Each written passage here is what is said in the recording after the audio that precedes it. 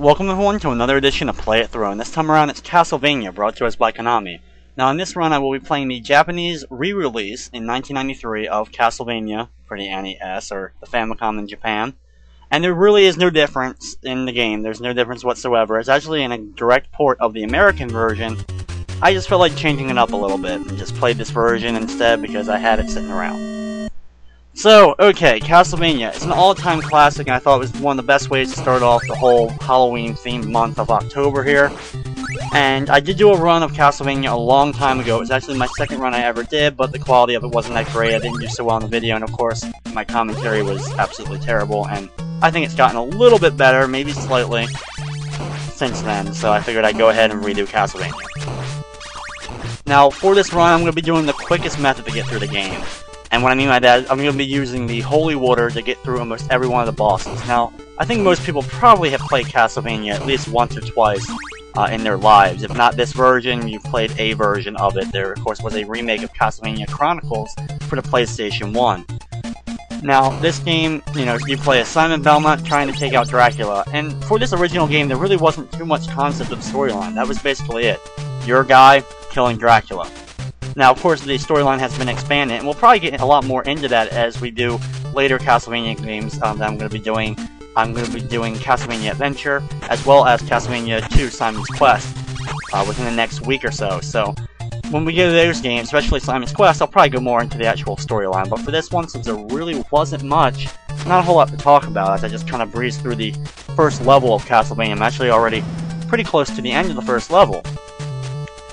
Now, overall difficulty of this game compared to the other Castlevania games is actually pretty high. This one and the one on the Game Boy I will be doing, Castlevania Adventure, pretty tough games overall. The reason why this one's so tough, not only is the hit detection a little bit questionable as I fight the first boss, which the best strategy for him is you have an axe you picked up during the level, and he really doesn't come at you much, so just keep launching the axes at him, and he'll be taken care of in just a few seconds. So he's done, the first level's actually already complete. But the reason why this game was a little bit hard was because the hit detection wasn't, you know, the greatest, as well as you had a, a really horrible knockback. Every time you take damage, you get knocked back pretty badly, and you get knocked back into a hole, you're done. You're dead, it's over, you know, you have to restart from wherever your last save point was. So that's definitely some of the reasons why, and when you get into later parts, especially the final level of the game, and you're dealing with the Hunchback enemies, which we'll see in the third level of the game for the first time, they can knock you back really easily and just knock you right back into a hole. And, you know, instant death right there. That's pretty much the main reasons why this one, I guess, would be considered the hardest. Plus, the bosses are a little unforgiving. They're a little bit of pain if you don't know how to deal with them. I'm going to be exploiting a weakness in the game using the Holy Water to take them all out pretty easily. The only one I'm probably going to have a little bit of trouble with, maybe Medusa. I usually have trouble with her and um, with Dracula himself at the end of the game. But the ones in between those two uh, will actually end up being probably the easiest boss battles you've probably seen in Castlevania. And I'll show you exactly where to stand and how to do it. If, of course, you didn't already know how to beat Castlevania, I guess. Like I said, it's a, it's a classic, so I don't need to really explain too much about the mechanics and everything, I assume, like I said before. You probably play Castlevania at least once or twice. This next part coming up is actually one of the more challenging parts in the game, I think, because you have to be careful when getting under these uh, spike things falling from the ceiling because they're an instant death if they hit you. So take your time to get through them. This is also the first time we really start getting a lot of the double dragon head enemies here that spit fireballs. They're easy to take care of when you're not on the same level as them, but when you're facing them straight up, you gotta time your whip shots correctly in order to make sure that you take out all the fireballs before they're able to sneak past the whip and end up doing damage to you head up the stairs here. We're actually almost to the end of the uh, of this level. This is actually the last little part of it. Watch out for the Medusa heads and collect a few extra hearts if you need them for the uh, object use. And here we go with the Medusa battle. Like I said, I'm not perfect at this one. If you have Holy Water, you can just destroy this boss as well just as easily. And there it is, but I'm not going to be able to get to it. Because Medusa's just standing right there. So I'll just keep firing the cross, stay on the left side, jump over when I need to.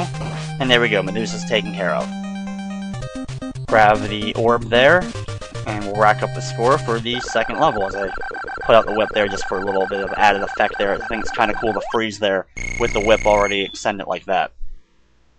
Now coming up is the third level, which not only has my favorite uh, song in the game, It also has my least favorite enemies in the game, and that's the Hunchback enemies. Now these, they look like those guys right there. There's little, they look kind of like monkeys. I call them the Hunchbacks. There was an original version of them that actually kind of looked like miniature Quasimodo-esque enemies, but in this one they're monkeys. Uh, there's also a version of them that are like little demons, like little demons with like really sharp teeth and stuff like that. Like kind of like a gremlin, but like packed into a small square. But um, those are the absolute worst enemy. They're in, I think, every just about every Castlevania game that they've ever created. And since they're so low, they're a little bit challenging to hit unless you get at them right away before they start jumping around all crazy like. I mean, you just have to be careful because they can easily rack up a lot of damage against you or knock you back into a hole, which instant death, of course.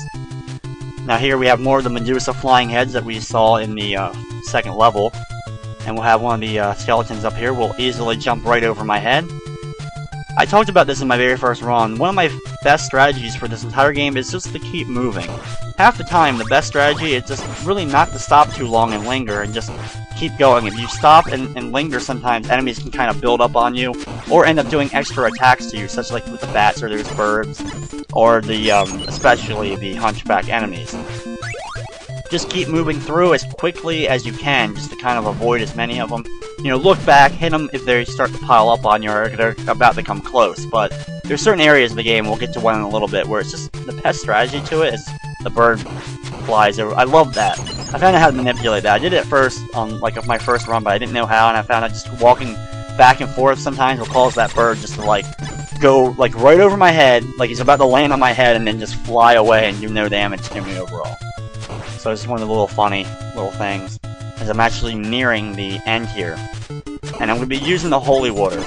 And what you're going to do is, this is a, a mummy boss that's two mummies at once. So I'm going to stand in the middle of them, and evenly time out walking back and forth, I'm going to keep throwing holy water. As soon as I throw one, turn around and throw another one back at the other one. If you time this correctly, you actually can kill both mummies, no problem, without them even being able to do one single move they like to actually throw out this ribbon at you, you know, just random wrappings they have on their body. They'll throw out, out at you to do their main attack. Plus, they'll walk back and forth, and they can double team you they're hitting you from both sides. So, I found the best strategy in the world. Just spam the crap out of your holy water. Takes them out pretty quickly. So now here we go to level 4. And we actually start level 4 by taking a very long fall down a like giant well-esque level. And here we go with the, uh, one of the, well, not maybe the hardest part, definitely not, but one of the more difficult areas, just because you gotta be careful of the fishmen. They can throw fireballs at you, they can knock you into the holes. Plus you gotta be careful of this cliff area. Course you wanna, wanna have to duck under it, and if you step up too early, you end up just falling right off. So you gotta be careful about that as the fish monsters like to get glitchy and kind of walk through the ceiling there. It doesn't quite make sense I guess it's bad programming on that part, but it was a really early NES game. I know this is a remake, or re-release of it, sorry, that came out in 93, but this was still a 1987 NES title, and it's pretty good for its time. Now, this is the part I was talking about where walking is your best your best bet. Just keep walking, stop to use your whip just to take out the, the hunchback, monkey, whatever enemies. Once in a while, you want to turn back and try to take them out before they start piling up against you, like that. But for the most part, just keep walking, and you'll seemingly be able to uh, have no problem. If you stop and wait and try to take out each individual bird and you know, the little monkey guy, they'll just easily start to rack up damage against you. Also, that little dragon that popped out of there, the skeleton dragon, just walk right past him. Don't stop, don't do anything, don't even throw your whip out. Just keep walking, he won't even be able to hit you. Now we have to deal with another one, and you can easily take him out with a whip, or what I'm going to show you on the second one here, we actually have another one. I'm going to be using the Holy Water, which I've been using against bosses, and I'll be using against this boss as well.